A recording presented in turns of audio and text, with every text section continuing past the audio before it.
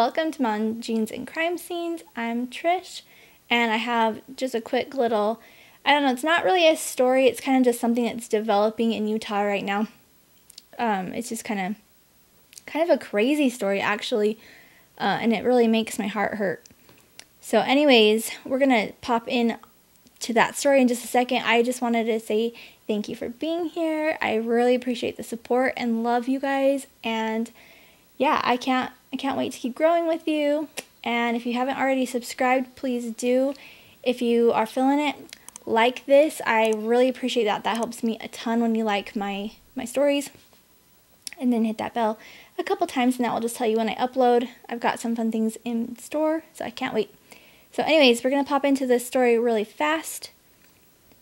So it's it happened February 6th. It was a Saturday at 2:30 is about the time that things kind of went down. Um, so Consuelo Nicole Solorio Romero, they call her Nicole. She frantically called her sister Julian Berseman on Saturday.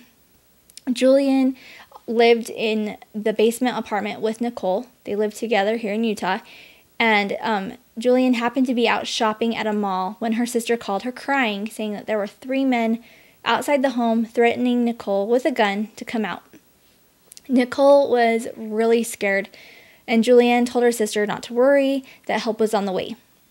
So Julianne got off the phone with her sister. She immediately called their cousin to go pick up Nicole, and then she calls her older sister who lives in Illinois, and her name is Jessica Romero McDonald. And from what I understand, I believe it's Jessica who calls 911 to go check out what's going on with her sister.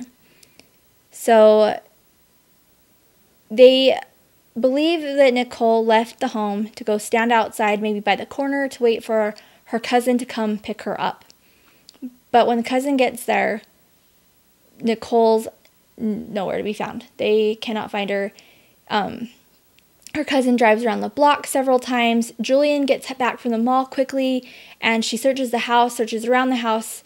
No sign of Nicole anywhere. So they're feeling pretty frantic about maybe what was happening. The police show up and they're telling her, you know, she has a right to disappear. She's an adult, but they're they, you know, tell the police there's more to this. This is not like Nicole to do this.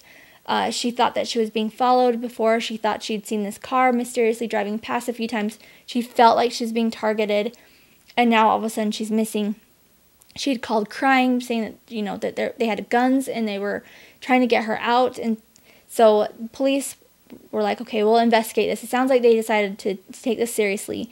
And yeah, so this is kind of, I feel like this is kind of when things get a little bit chilling because while police are investigating what happened, they come across a door, I think it's a door cam from across the street, and they see this green car park in front of a home and they witness Nicole's kidnapping. They actually see her being pulled into the car by a man. They can see a man in the driver's seat. They cannot get good identification on the man.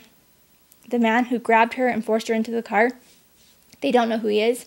They don't have like really a whole lot to go by other than he is Hispanic. He's wearing a white hoodie and he forcefully put her in the car. Um, there's a third man, according to Nicole, involved in this, but he, he's not really referenced at this point. So I'll kind of get to that in just a second, what I'm thinking maybe. Police start to kind of investigate. They obviously they know something's terribly wrong at this point. So they are um, investigating and they find evidence in Nicole's home. I, I'm not sure if it's actually in her home or outside her home, but they find evidence that leads them to a second home or a second location that they believe Nicole was taken to. Once they get there, they realize that she was shot. Now, everything that I have seen, they specifically say shot and that she's hurt badly or maybe not even alive. They're just not sure.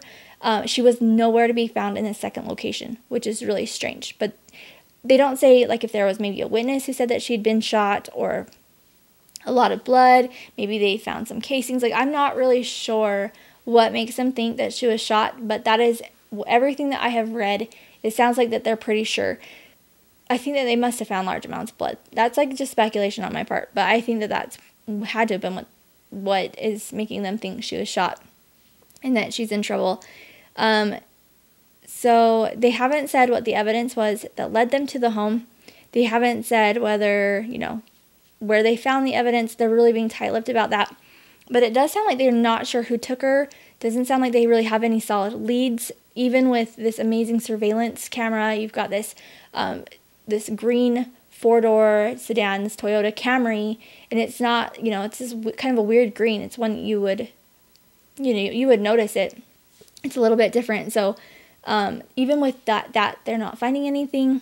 They said that there are actually two vehicles of interest. So the green four door sedan Camry, and then there's also a white pickup truck with an orange or red snowplow. So if you're looking at the the video, if I can't post it directly on here, I will post a link to it in the comments below or the description below, but there is on the video a white pickup truck. I'm unsure if that's the one that they're referring to, but it is one that's of interest to them.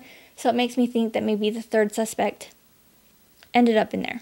So her family's kind of scattered about right now. Her poor mom, she's in Mexico trying to get into the United States. This is an emergency, so hopefully she'll be able to do that.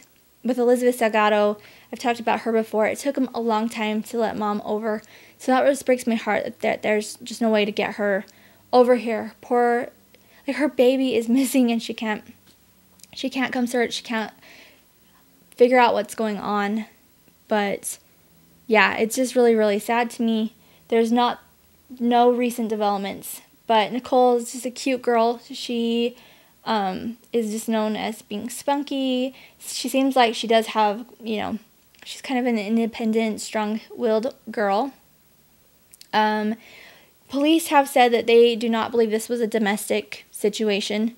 Um, they said that they don't necessarily think that she was caught up into anything illegal. I have seen people say that she is an addict, that she's kind of trying to recover from that. So I'm not sure how true that is, um, but it does sound like one of her sisters did say that in a news article. So if that news article is correct, her sister did say that. Um, so I don't know if that could be related to it, but it does sound like that they do believe she was targeted. Um, at this point, they just don't know why. They've been checking hospitals all in Utah, outside of Utah.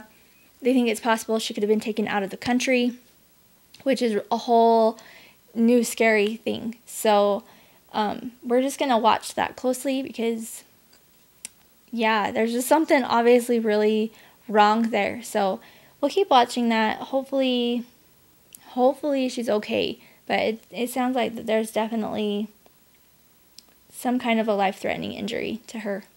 Just wanted to share that because it's just crazy to me.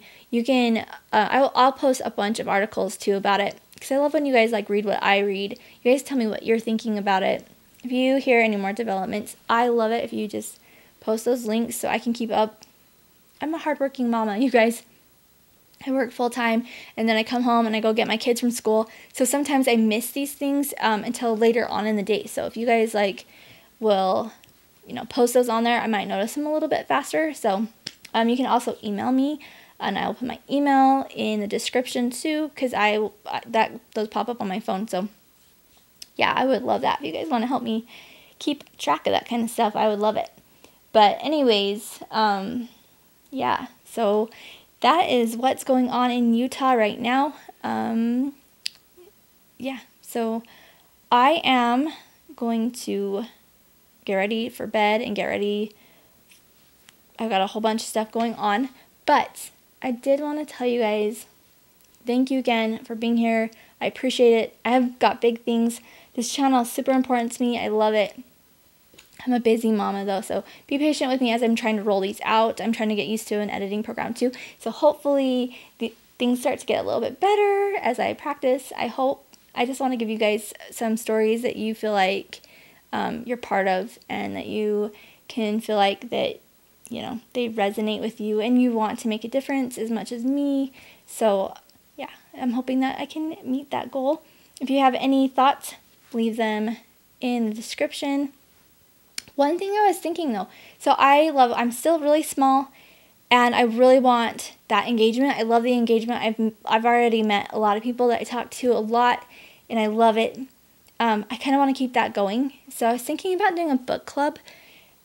Um, I want it to be a free thing. I don't want it to be like for paid members. Um, maybe eventually, like if I keep growing, we might have to go in that direction um, to keep it a little bit smaller. But I, for now, I want to keep it free. So if that's something that you might be interested in, I would love to do a book club with you guys. You guys can pick the books. Maybe we can do a vote, and then we'll we'll just have fun with that. So tell me what you think. Anyways, I like I said, I'm gonna go and take care of my babies. But I am so glad that you were here with me for a second tonight, and I hope you guys have a good night.